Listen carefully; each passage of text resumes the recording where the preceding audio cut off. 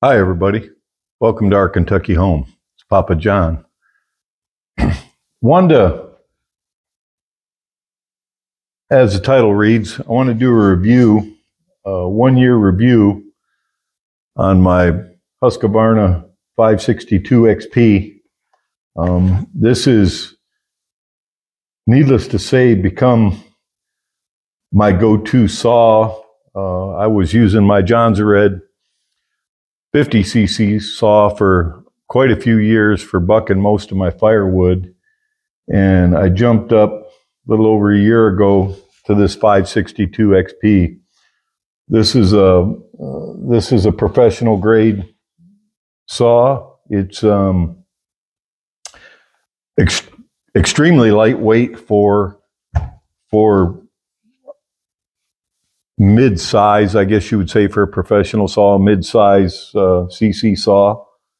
Um, they are uh, extremely, extremely high RPM and cut really well. As, as a matter of fact, in a few minutes, we're going to um, we're going to get some gear on and we're going to make a few cuts with the 562. We're going to make a few cuts with the Husqvarna 372 and with the Husqvarna 395. Now, in in all fairness, the the 372 has had some very minor port work, base gasket delete, and a dual port muffler. The 395 has had a base gasket delete, polish the exhaust a little bit. That's it. No real porting and a dual port muffler. And we'll just we'll just kind of see how they compare. I, I don't expect this 562 is going to keep up with either of these saws. Now the th- the 372 is broke in pretty well. The 395 only has about about a tank, tank and a half of gas. Um, since since it was put together. Um, and we'll uh, we'll take a quick comparison of those. But this saw, it is a auto tune saw, which is for some of you uh, are not familiar with Husqvarna's uh, newer XP series saws. This auto tune um, is basically there's no adjusting the carburetor. As a computer that operates the carburetor and senses the barometric pressure and the temperature and humidity and all that, and it adjusts your saw. What you what you typically do if the weather has changed since you've used the saw is you fire the saw up, let it warm up good, and you take the tip of the bar and uh, you put it long ways, if you will, uh, with the grain in the wood and, and just put the tip of the bar in the wood and drag it across it a few times wide open and it adjusts the carburetor and and you're all done. No no having to adjust carburetor for altitudes or temperature, humidity makes it very handy. I've had zero zero problems with this saw. All I've done is put fuel and oil in it and run it. And it's in the last year, it's last year it cut a lot of firewood. Um, so I like the new design, the, the new caps, uh, fuel caps that um, Husqvarna is using, the flip style cap. Yet they still they still screw on and have the rubber O-ring seal in them, so you don't have to worry about them leaking. I know some other uh, brands, manufacturers with their flip style caps have had problems with them leaking.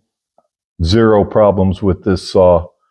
Um, it. Uh, I'll uh, I'll post the the weights uh, in comparison to these saws uh, up here in the corner, and um, it, it's it's a real pleasure to run. It's it's got quite a, a compared to the the three series saws like the 372s and those. Uh, the the anti vibration is fantastic. You can run this saw for a long time and not get arm weary. Um, like I said, it's it's a it's a logger professional style saw. Um, very smooth to run. It has a very robust brake handle, um, which is which is nice. Um, some of some of the older saws they were they were a little chintzy and they they only wrapped down one side and and actually didn't have a fastener on the other side and they felt kind of chintzy and you could break them. These not so much. Um, I do not have a full wrap handle on this saw, although I do use this saw for uh, I have used it on on oh I can think of a two big trees, so 36 inch in diameter and, and larger with with a 20 inch bar, 24 inch bar, and no problems at all. Felling trees with it. Uh, it's it's pretty handy to uh, handle, like I said, because of the weight. But uh, well, let's take it and we'll do a little comparison, and then we'll come back and uh, see what you think.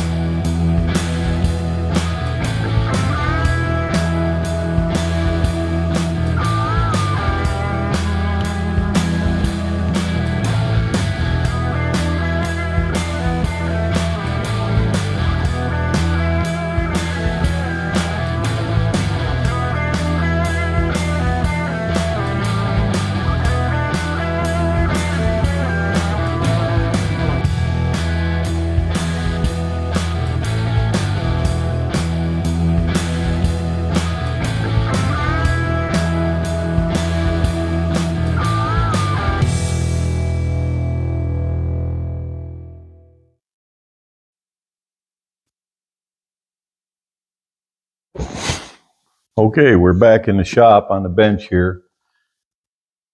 the 562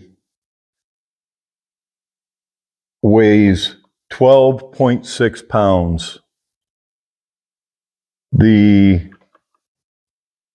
372 weighs 14.6 pounds.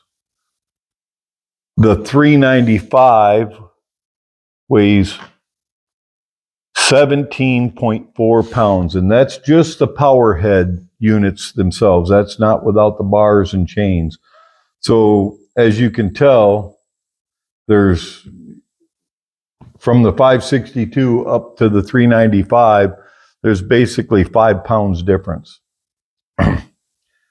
Doesn't sound like much, but when you when you're holding it up, you know, for an hour at a time, sawing or longer, or all day long if you're a logger, that that makes a big difference. Um,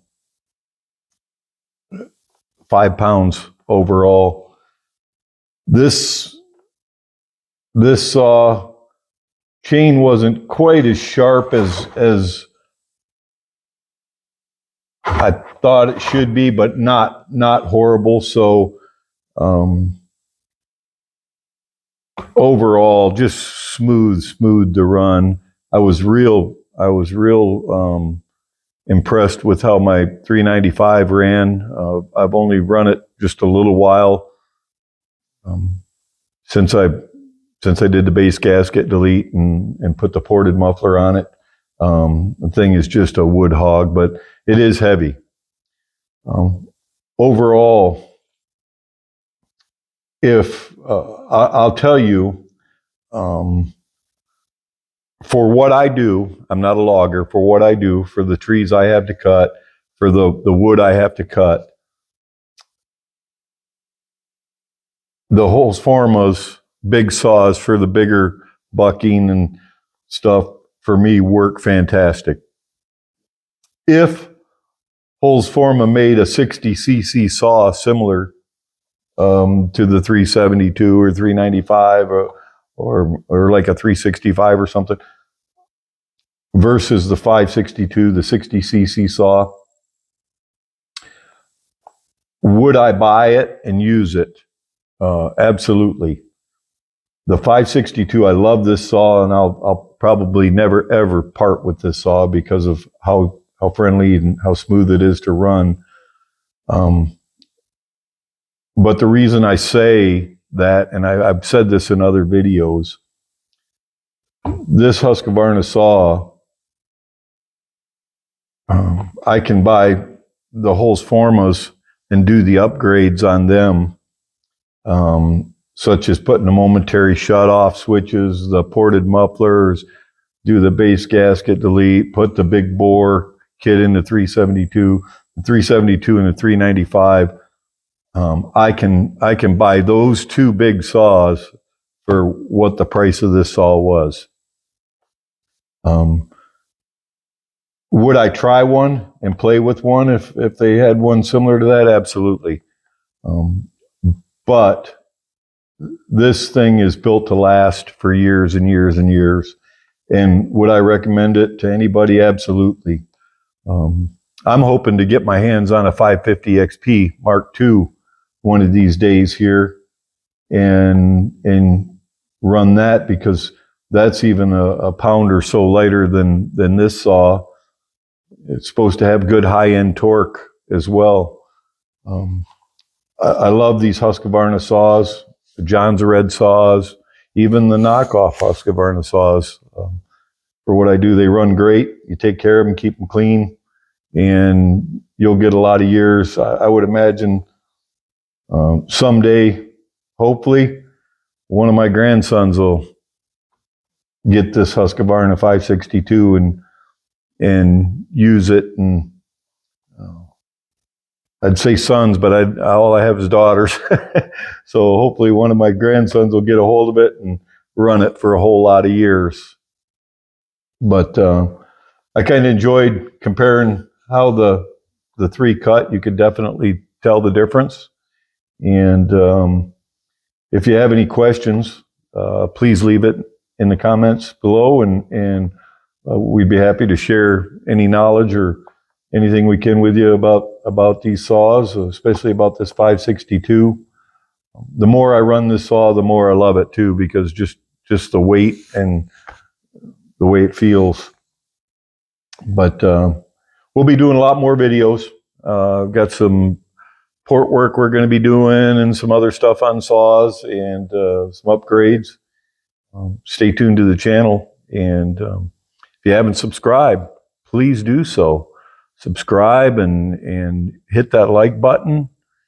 Um, hit the notification button so you get notified when, when we post more videos here at our Kentucky home. Until next time, God bless.